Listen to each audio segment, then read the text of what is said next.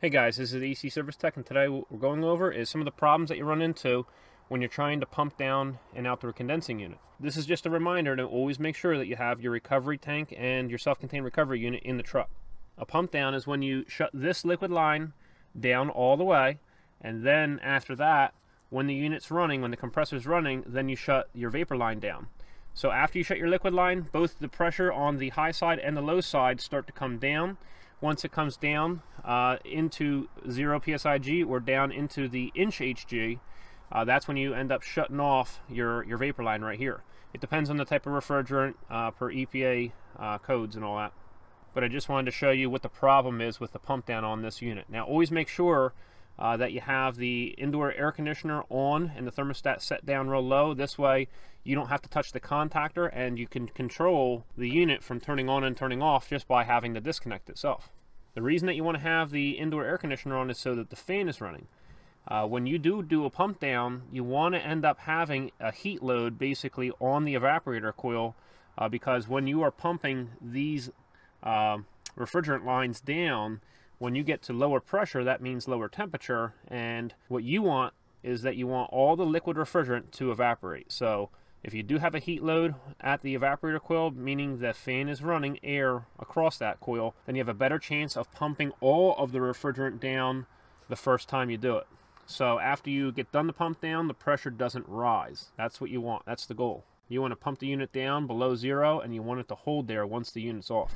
And what we're doing is we're using quick connect test gauges.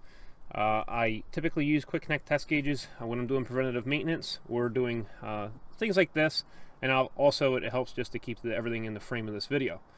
So right now this outdoor unit's off, the indoor unit is on. Before we even start, I have my adjustable wrench on the service valve right here.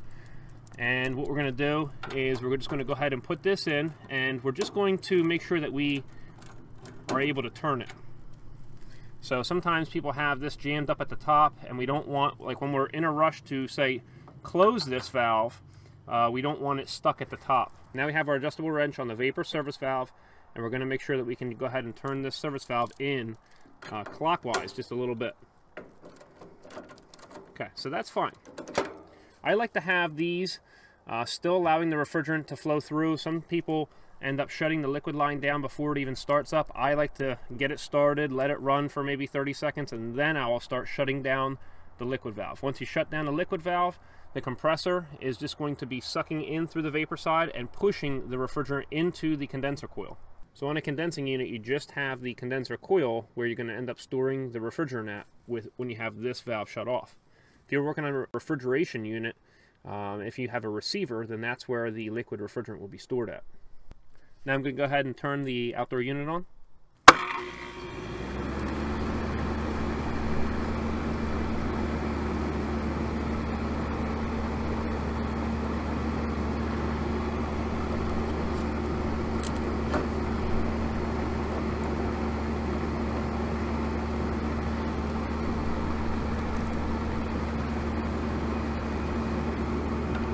I'm going to turn it in clockwise now. And what will happen is after I go ahead and shut this all the way down, you're to see both gauge pressures lowering.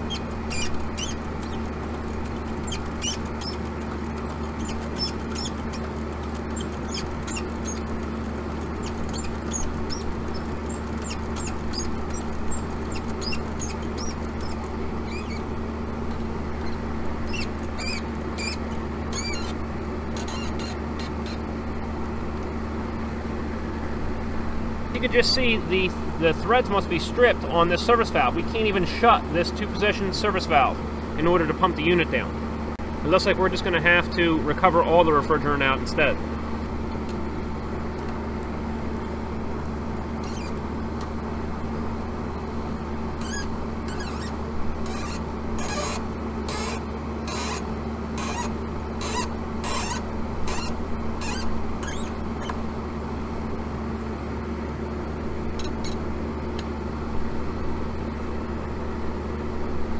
So that's the kind of stuff that happens when you're servicing HVAC equipment.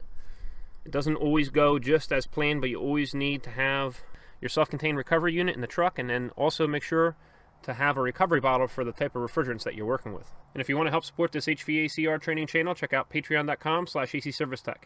And if you're looking for the tools and supplies that I use out in the field, then uh, check out the description and comment section below. Hope you enjoyed yourself, and we'll see you next time at AC Service Tech channel.